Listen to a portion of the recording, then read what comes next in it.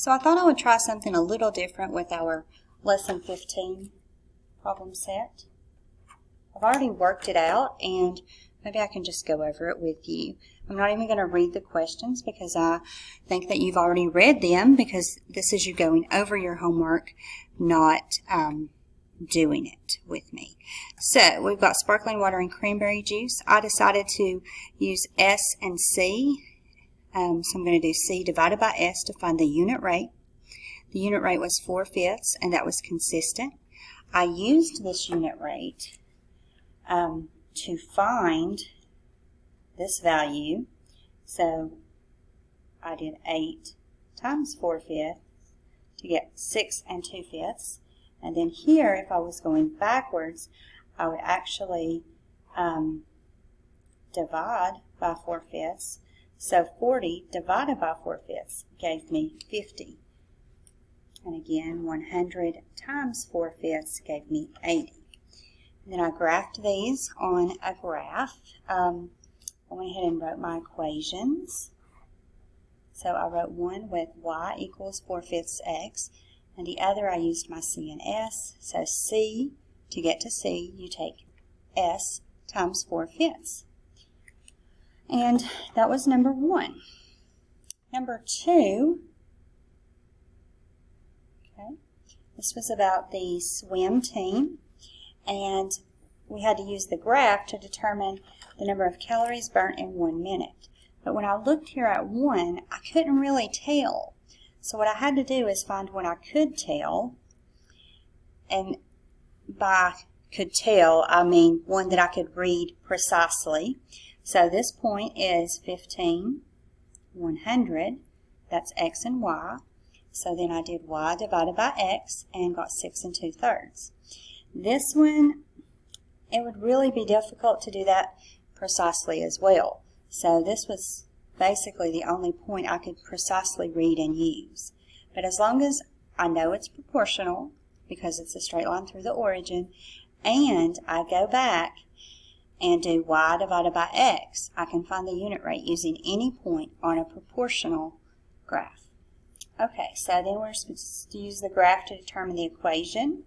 So if this is the unit rate, the equation is y equals kx, and k is replaced with the unit rate. And finally, um, I had how long will it take her to burn off 480 calories? So I start with this uh, calories equals 6 and 2 thirds calories burnt per minute times the number of minutes. So they told me 480 calories. I replaced the C with 480. Um, so my equation is 480 equals 6 and 2 thirds times the number of minutes. To solve that equation, let me highlight that equation. That's 480 equals 6 and 2 thirds minute. So to solve, I'm dividing each side by 6 and 2 thirds, leaving me with the number of minutes equals 72. And over here somewhere, that would be a point on my graph. Okay, here is number three. So this one was about the world geography class and the distance between cities in Europe. Um, and let's see. So I, I found a point that I could read very precisely. And I have indicated the ordered pair. And again, remembering that an ordered pair is x comma y. So I had 8 comma 5.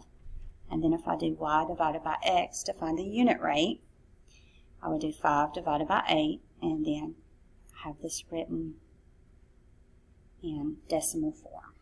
Okay, so the constant of proportionality is 5 over 8, or I could also do this in decimal form if I wanted. M is 0.625. Okay. All right, the distance in kilometers between towns that are five miles apart. So I've started with my original equation and I replaced y because that's the number of miles with the 5. Then I divided each side um, by 5 eighths. So 5 divided by 5 eighths is 8, 8 kilometers. Again, I have my original equation. Probably best to go ahead and do the whole thing. This is a, okay, so if it's 200 kilometers apart, um, that would, I would end up doing the number of miles equals 5 eighths times 200, and the number of miles is 125. So, this is um, conversion between kilometers and miles. 5 eighths is your unit rate. Moving on. Last question. Um, summer vacation, cups of blackberries, cups of juice. Okay. The grandmother and Lydia spent time picking blackberries and they were going to make jam. You must cook the berries until they become juice and then combine the juice with other ingredients to make the jam. I didn't know that until I did this problem. Um, I've never made jam. Maybe you have. Anyway, here's my table. You can see that I labeled these X and Y. Then I found my, I checked to make sure there was a constant of proportionality. Then I used that constant of proportionality times one third to get this. And then going backwards, divided by one third to get that. There's my equation. So down here I wrote juice equals one third um, times the number of cups of blackberries. And if there were 12 cups of blackberries, so juice equals one third times 12. One third times 12 is 4. 4 cups of juice. And then um, to make 8 cups of juice, I would replace the juice with 8 and solve this equation after I have replaced j with 8 because they told me that.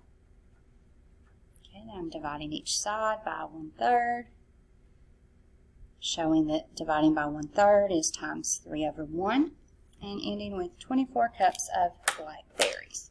Now, as always, if you need additional help, please feel free to email your teacher and ask for that additional help. Um, thank you for going over your work with me.